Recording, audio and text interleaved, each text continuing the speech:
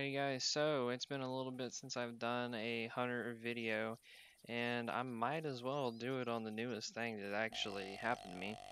Uh, a pretty unique animal if you could tell by the thumbnail and the title of this video. But this is my first non-typical in years. Like I haven't seen one, especially one like this, in probably it's probably been at least four and a half, five years. So I am extremely happy. When I was trying to do the mule deer missions for, um, well, finish out the mule deer missions, and I just happened to walk over here, and uh, Big Boy was just standing down there in the open. So you're gonna notice uh, that I don't have a very long range gun. Yeah, I could have used the 308 pistol, but I didn't trust it enough to actually try to do that. So I am going to have to end up getting close enough for a shotgun shot. So there are a lot of animals down here too. I don't want to spook them because if I do, he's gone and I might never find him. But this guy right here, so far, is my biggest non-typical. Um, I like I said, I haven't seen one in forever, and hopefully, hopefully, I might get one of a mule deer here soon. That's uh, pretty good too. If you guys got any non-typicals, I'd like to know. Uh, but basically, what I'm going to try to do right here is uh, after I saw him, I didn't want to try to call him in because he was not responding to calls at whatsoever. He was not coming in. He did not want to even uh, pay any mind to the fact that I was blowing the grunt call. So I hit the scent eliminator and I'm going to start crawling. I'm fairly certain that he's still sitting down there in the middle and I'm hoping he doesn't go up that backside of the hill. Now I count on the other animals not spooking as for a reason that uh, he's still there and I only need to get, you know, I don't need to get too terribly close to use a slug on him. But I would like to at least get close enough to where I don't need to, you know, really worry about a broadside shot with 12 gauge at, I guess, 50 yards or less. He's going down. There's no way he's going to get away. I thought about shooting him with the bow. Now, if he would have actually responded to the call and came straight at me, I perhaps would have actually tried that. But, like I said, he's not coming into anything. Also, the Halloween event. Tell me what you think about it. I um I really like what they did this year. I know this isn't the first year that we've had werewolves, but this is the uh, first year that we've had kind of like a an event like this uh, and I only need one more skull and I uh, get it complete, get that EM and that two person tree stand, which I really want. So, tell me how you're doing on that. And I like how they discounted the gun, so it's like extremely easy to get.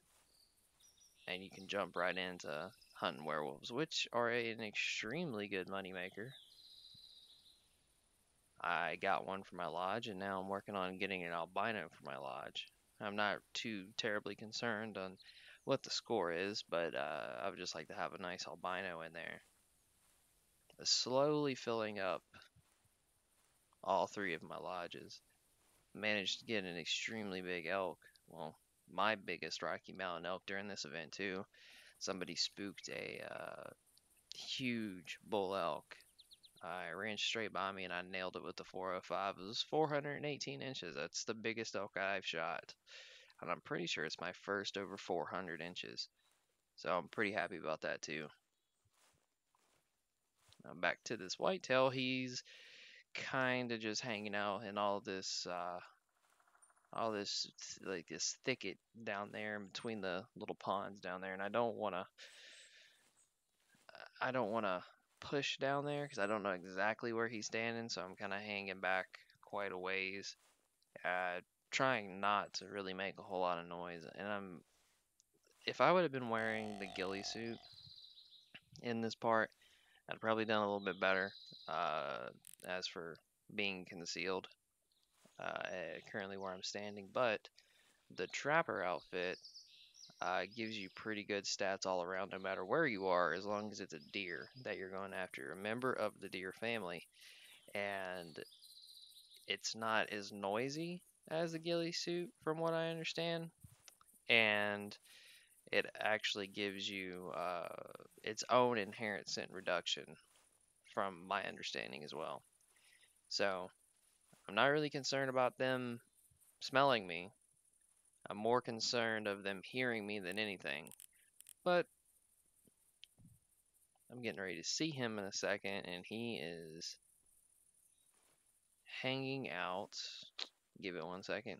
I'll actually zoom in on him here in a sec.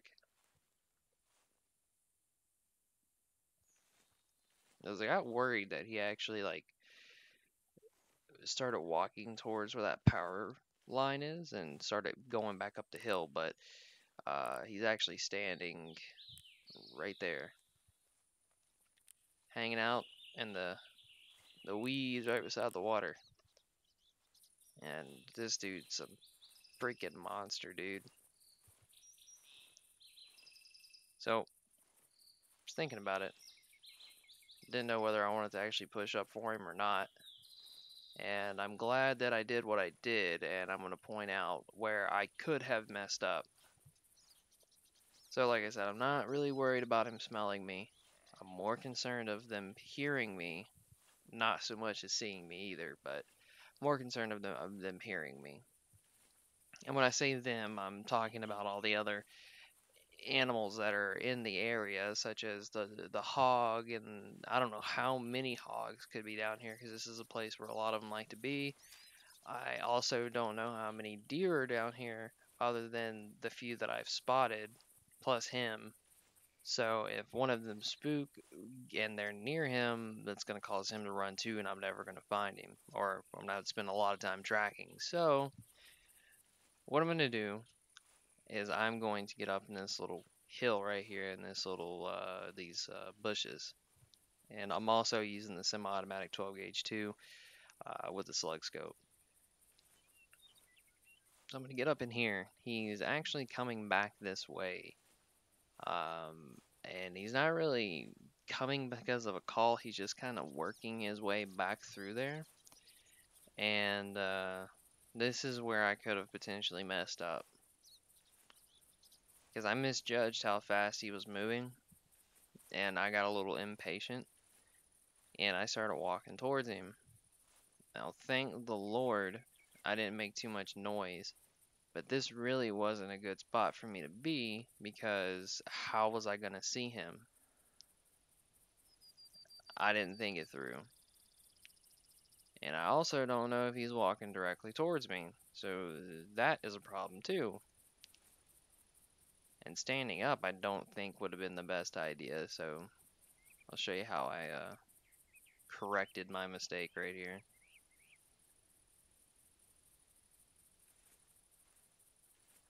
Just walk backwards. and uh, thank God they actually didn't hear me. Uh, but he is easing out in the open. And at first I was making sure that it was even him and there's a gigantic wreck. Nail him with a 12 gauge slug in the side, and he takes a dirt nap. Needless to say, I was a little bit excited. You're going to see how much he scores, which, like I said, is the biggest that I have ever gotten.